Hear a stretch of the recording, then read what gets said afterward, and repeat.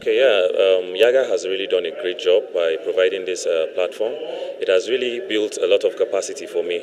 You know, um, having been a uh, been a young politician, there are a lot of things that uh, you are not really clear about. But then, with the kind of speakers they brought from Nigeria, from Ghana, from Zimbabwe, and a lot of very resourceful people came around and made us understand uh, why we should run and the reason why we should be in office. And I think this particular platform is, should be uh, should be recommended for anybody that is going to seek for public office. Our, most of our voters have been polluted with. Um, the influence of uh, finances, and then being a young politician, we don't have that kind of money. But then uh, we go and then what we do is to, we sensitize them. We tell them that it's not about money. Anybody that gives you money, when he gets there, he's going to recover back his money.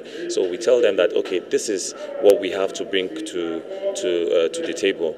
We tell them if somebody comes and he gives you money, ask him, what are your plans for us? What are what are the policies you are going to bring to to, to the people? It's not about what you come and give. This is not business. We're sending you to represent us. So we enlighten them.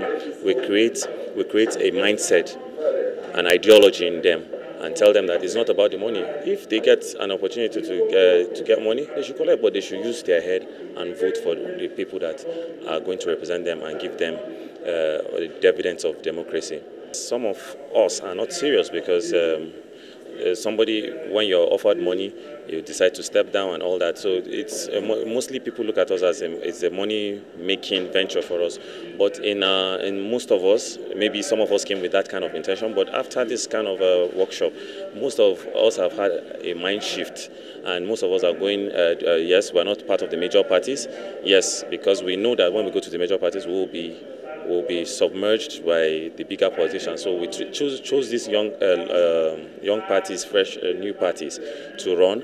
And this is because we know that if our people have this ideology that is not about the big parties, they can decide that to, to, to, work with us and they will see the difference. We enlighten them to even recall us when we don't do what we're supposed to do. We enlighten them on our own part and their own part too. So it's not about the big parties. They can front the big parties, but it's about the credibility of the candidate.